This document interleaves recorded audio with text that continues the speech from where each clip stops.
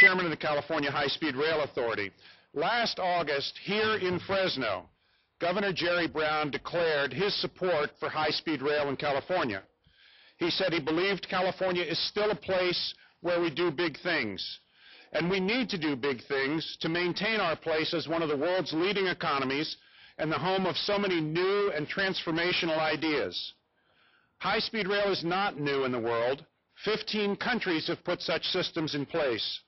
But California is well suited for this technology in terms of our population, the distances between our major cities, and the mobility challenges that we face.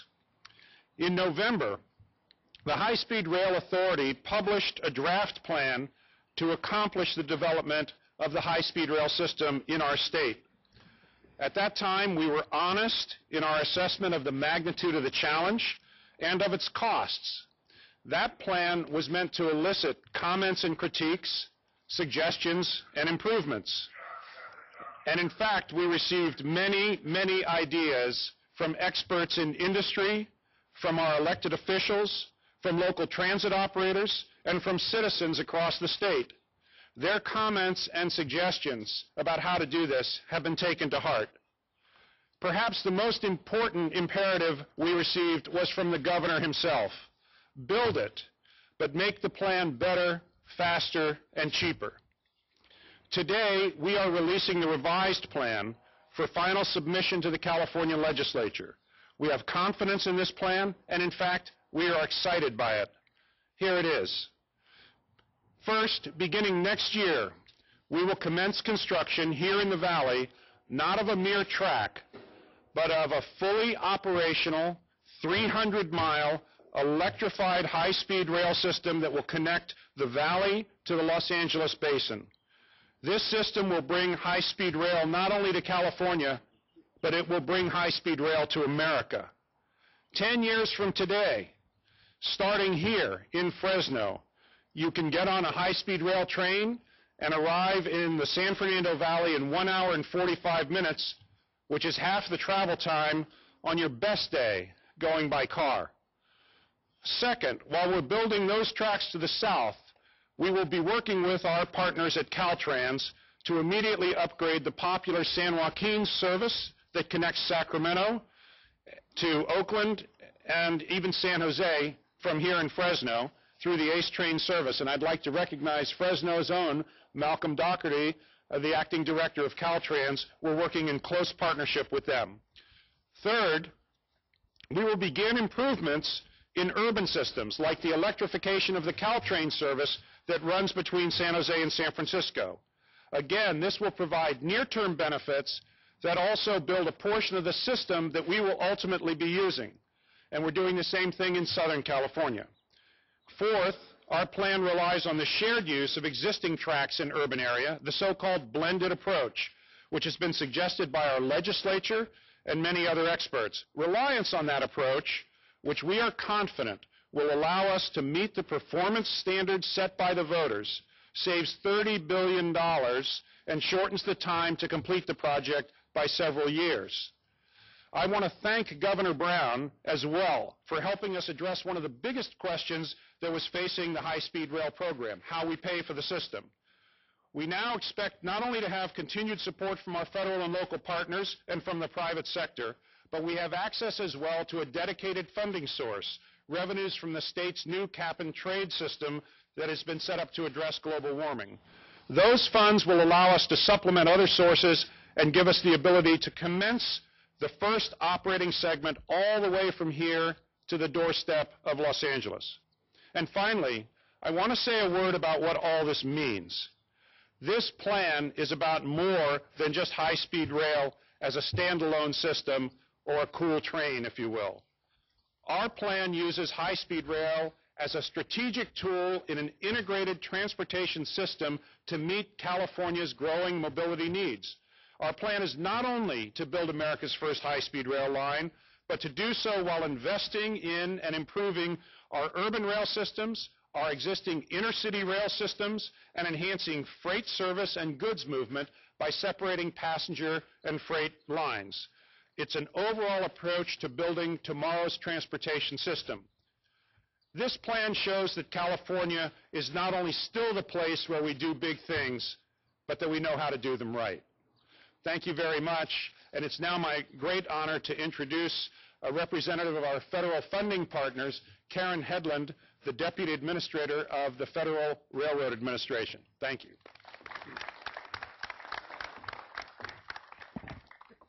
Thank you, Dan, and thank you, Mayor, for inviting me back to Fresno. It is a great pleasure to be here today with all of you. And I'd like to start by uh, sending you greetings from the President and from Secretary LaHood, and by delivering this statement on the Secretary's behalf. By listening carefully to everyone involved, the California High-Speed Rail Authority has offered a new plan today that let, lays out a faster, better, and more cost-effective path to building the high-speed rail system that is so critical to California's economic future.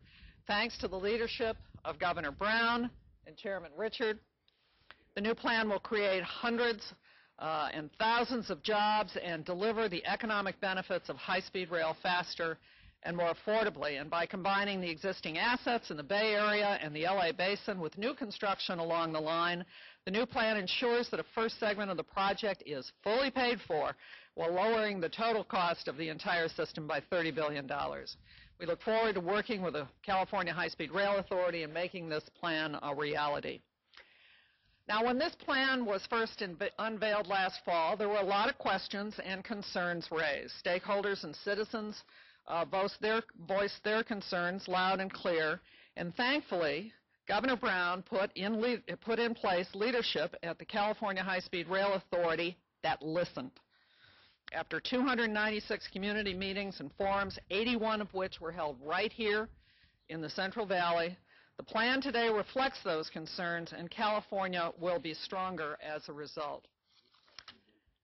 This plan is a guideway to the future of California, and it's right in line with the vision of President Obama. Three years ago, the president said that he wanted to connect 80% of Americans to high-speed rail, to the high-speed rail network over the next 25 years. The president's fiscal year 2013 budget requests 2.5 billion for rail development projects and establishes the first of a six-year strategy to invest 47 billion in our nation's rail system. We intend to be a great partner to the state of California and our other state partners going forward into the future. Today, California is well on its way to realizing the president's goal.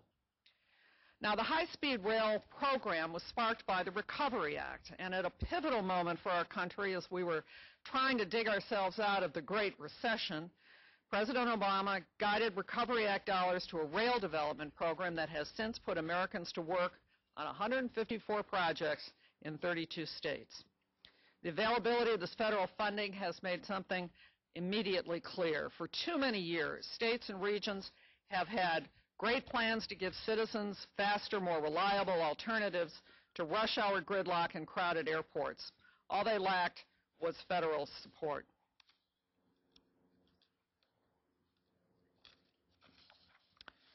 But today we've invested over $10 billion in support of citizens' demands for rapid mobility, for livable communities, and for freedom from escalating fuel prices. Friday night in Los Angeles, I saw my first gasoline station showing a price over $5. But these are the people leading the charge. California has a long history of thinking big the treasurer's office in Sacramento, there's a sign that says, engraved in the top of the building, bring me men, should say men and women, to match my mountains. And as the public opinion poll released last month, 60% of Californians are ready for high-speed rail. They understand what this project will mean to their future and the future of California's economy. They understand that high-speed rail brings not only faster travel, but also jobs and economic development, so very important to folks in the Central Valley. Now, people, I think, outside of California don't quite understand this next point. Sometimes they talk about the thinly populated Central Valley. It always makes me grimace a little bit. But in less than 40 years, California will have 20 million more people than it does today. That's the population combined of the states of Texas, Florida, New York, and California. But congestion, even today, we don't have to tell you people who drive 99, robs the state's economy of $18.7 billion annually. Six of California's metropolitan areas rank among the nation's most congested. The short-haul air travel market is the nation's busiest, and the airports in San Francisco and Los Angeles are the most delayed. And double-decking our freeways and building more runways just won't work.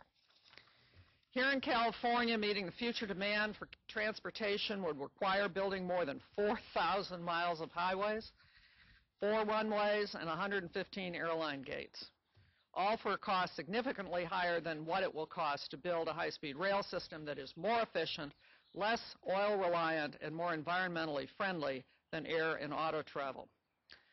So high-speed rail should be seen not alone, but as part, uh, an important component of an integrated transportation system.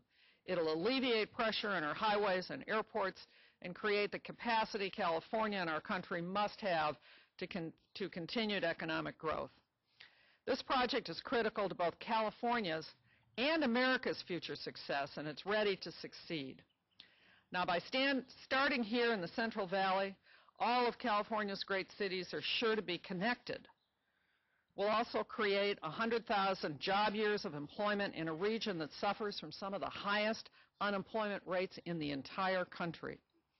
So I'd like to congratulate the chairman and the authority staff and the governor for not only developing a plan that is better, faster, and less expensive, but also for listening and responding to Californians' constructive criticisms and suggestions.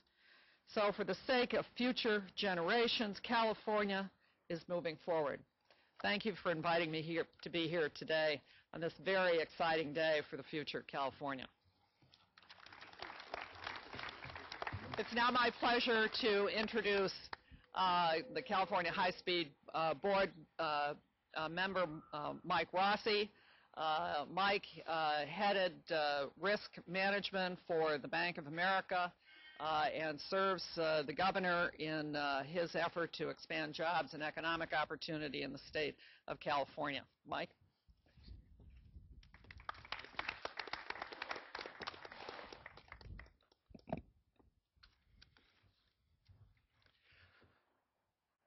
To your, to your everlasting boredom, I could speak in depth about the efforts over the last six months to refine ridership estimates through validating the model's sensitivity to inputs and the reasonableness of its outputs, refining and updating inputs while at the same time testing impacts of various revenue reductions and expense increases on the financial plan. In all scenarios calculated, including a 30% increase in expenses and 30% reduction in revenues, no subsidy was required. My entire career in finance has been analyzing, reviewing, recommending, and approving risk transactions. As a result of this experience, I believe this plan is credible, reasonable, and transparent.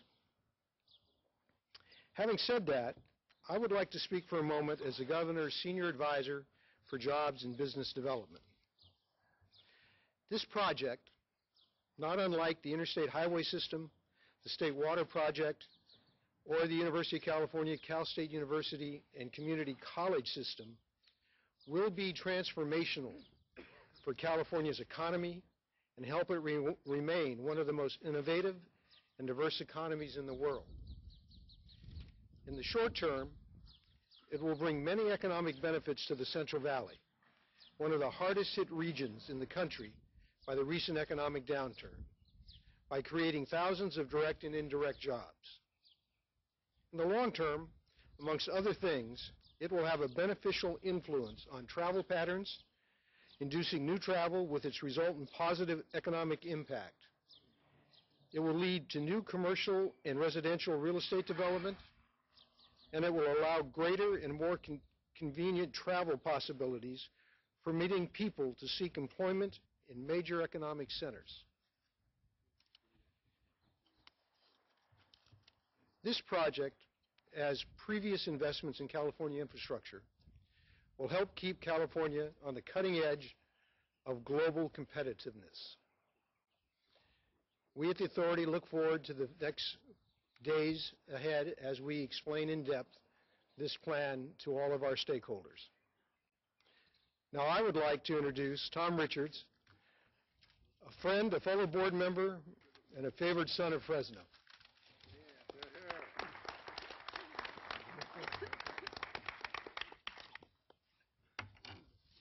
Good morning, ladies and gentlemen. Uh, Before I start, I wanted to just recognize uh, Councilmember Oliver Baines, who has joined us from the city of Fresno and whose district uh, is the area that you are in right now. And Oliver, thank you very much for coming here and for being such a strong supporter of high-speed rail.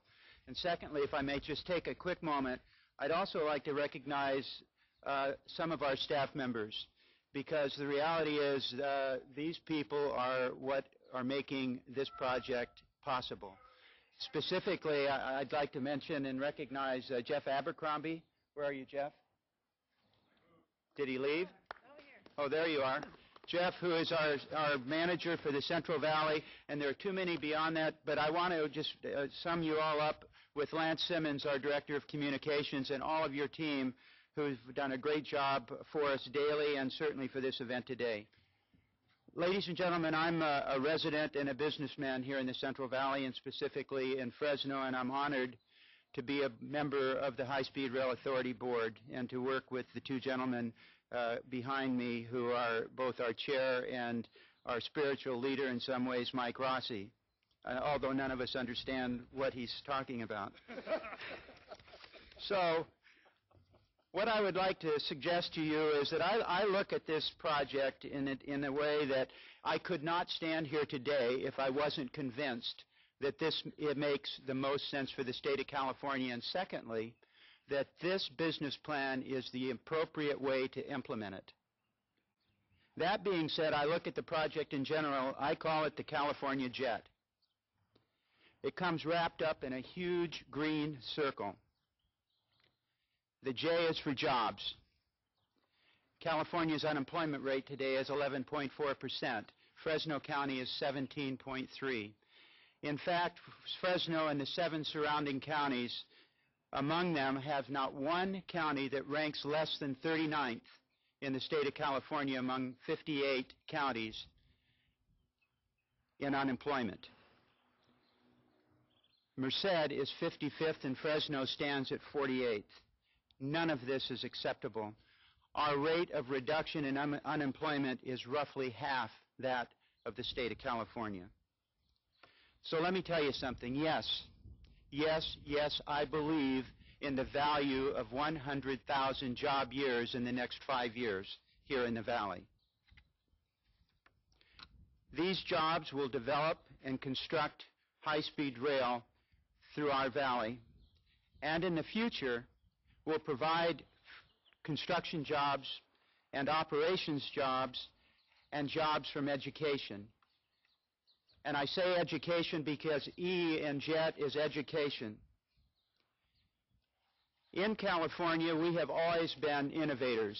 Our forefathers, our parents, our grandparents, and we remain innovators.